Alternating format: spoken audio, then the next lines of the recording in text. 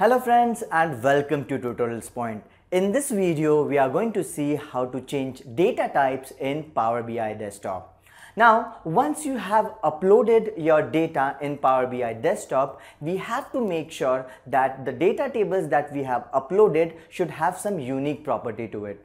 For an example that I have a data table in which in one of the column I have something as dates. So I have to make sure that that particular column should have unique set of properties and that unique set of property is the data type that we are talking about. Now what are the different type of data types which are available? Now once you are in the Power Query editor, you will make sure that you go to that particular column and if you click on the very extreme left corner, you will see there is a small uh, gesture. So if you see there is ABC written down here, if you click on that button, you will see there are whole bunch of option which you can give uh, the data types of. Now if you see out here, there is decimal, we have percentage, date, date and time, we have time as well, text. So there are so many bunch of options. So you must be wondering that why we need to give this data type. Now the whole and sole purpose of Power BI is that we need to project our data and we need to generate reports.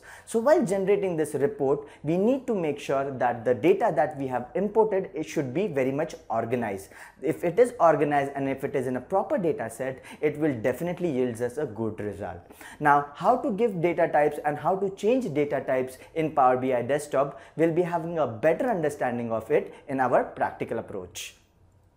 Hello friends and welcome. In this video, we are going to learn how to change the data types in Power BI. So let's get started off.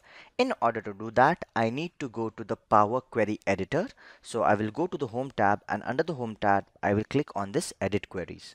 The moment I click on Edit Query, my Power Editor, Power Query Editor opens up and I will move on to the queries.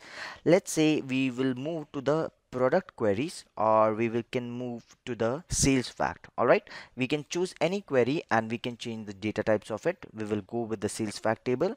Out here you can see the different columns out here. All right now uh, what is the need of uh, changing the data types and what is the peculiar use of it? So let me tell you about it. For an example that we are the purpose of Power BI is to create and to generate reports in a graphical format. But for an example, if the data type of a particular column or a particular table is not up to date or it is not relevant, it will not give me the result. For an example, as of now under the sales fact query, if you can see the date column, this date column is known as uh, like ABC you can see something called as ABC so what is this ABC this ABC is nothing but it is stored as a text in this particular column but this is a date format and it's not a text format. So in order to change that I, I have to click on this ABC button. The moment I click on this ABC the ABC is representing the text but as of now I do not want the text. I want it as a date. Now out here you can see the different date uh, types as well. I can either take it as a date I can take it as date and time. If you have a column which is displaying you the date and time both so I can select this particular uh, option date and time or date or time. We can also select time if you have time and if you uh, belong to a part particular uh, time zone you can select your time zone and you can select the date accordingly.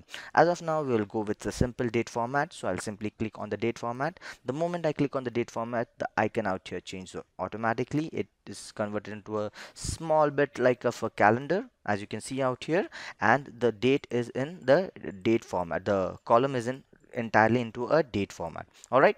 Now moving on uh, the abc this is my zip file. We can change this as well. So i'll simply click on it and make this as a binary or a whole number. That would do. That will make my work a little bit easier. Units as def, uh, defined it as a number unit or it is a let me check it's a whole number all right this is a whole number. As you can see it's a whole number out here. Also the next the last column which we have is the revenue column.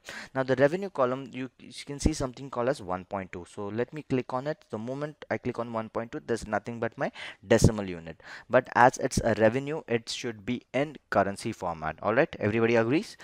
So we will simply uh, click on this particular button and I'll make this as fixed decimal number that is my currency format. The moment I click on this currency format you can see this is converted into a currency format and also you have some four digit you uh, four decimal places after the point. All right so you can also change this by simply making the relevant changes. Let's go and then change this uh, decimal points. Let's make it till 2 that sounds good. So I'll simply right click on my uh, revenue column and I will this time I will move to the column which says uh, transform. All right? The moment I click on transform I will go to the round up uh, round uh, option and I'll go to the round option out here.